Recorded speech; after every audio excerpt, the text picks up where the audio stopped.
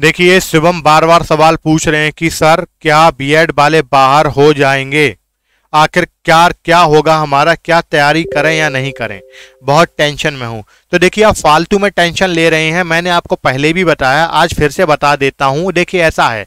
आपको ये बात तो मालूम होगी कि बीएड वालों को शामिल किया आखिरकार किसने? है शामिल किया था सरकार ने, ठीक है? शामिल किसने किया? शामिल तो सरकार ने किया।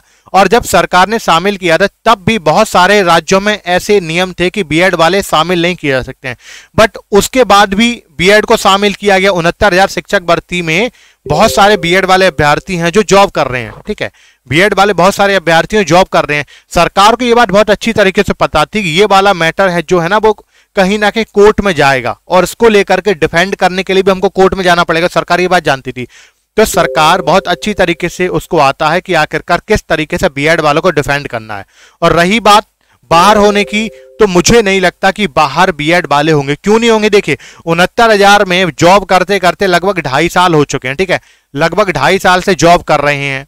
तो कहीं ना कहीं ये बात कोर्ट जब कोर्ट जब डिसीज़न देता तो ऐसा नहीं कि एक पक्ष की सुन ली कि नहीं इनको बाहर करो और दूसरे की सुनी, दूसरे वाले की भी सुनी जाएगी कि जब उनहत्तर हज़ार वाले में जॉब कर रहे हैं बीएड वाले अभ्यर्थी तो आखिरकार हमको इस नई भर्ती से बाहर क्यों जान, दिया, कर दिया जाएगा? ठीक है?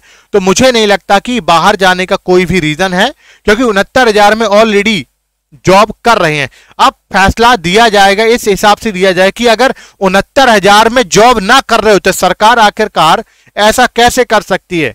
ठीक है तो सरकार ने यह कहा था कि हम ब्रिज कोर्स करा लेंगे।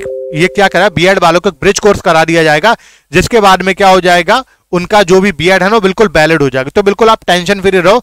सरकार बहुत अच्छी तरीके से जानती है कि आखिरकार उसको किस तरीके डिफेंड करना है। और रही बात फाइनल डिसीज़न का तो जब फाइनल डिसीज़न आएगा, तब भी आप देखेंगे कि बीएड वाले अंदर ही रहेंगे। पेज कहाँ पे फंसेगा?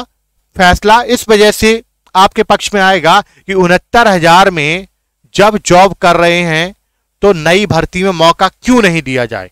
बात यहाँ पर आके फंसेगी, ठीक है? तो कोर्ट ये, देखो, आपको मालूम है, अगर एक बार नियुक्ति पत्र आपको मिल गया, ठीक है, अब ढाई साल से जॉब कर रहे हैं तो इसका मतलब ये तो है नहीं, ढाई साल से जॉब कर रहे हैं, इसके बाद में इनको बाहर निकाल दिया बाहर नहीं निकलेंगे। अगर ये बाहर नहीं निकलेंगे तो आप लोग भी अंदर आएँगे हंड्रेड परसेंट। तो आप इस बात को लेकर के टेंशन फ्री रहो कि बीएड वाले बाहर जाएँगे, बीएड वाले बाहर नहीं जाएँगे नहीं जाएँगे नहीं जाएँगे, ठीक है? तो आप बस तैयारी पर फोकस करो। नंबर ऑफ़ कैंडिडेट बहुत ज़्यादा है कंपटीशन बहुत बड़े लेवल पर है, आपको प्रिपरेशन पर फोकस करनी चाहिए। ठीक है?